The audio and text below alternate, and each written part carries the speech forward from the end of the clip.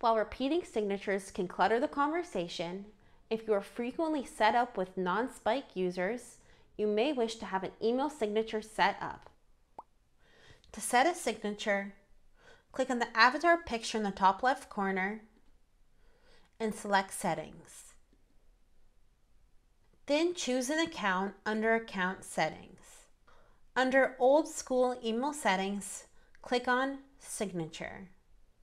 Add or edit your signature, and once you are done making any edits, click on the left facing arrow in order to save it.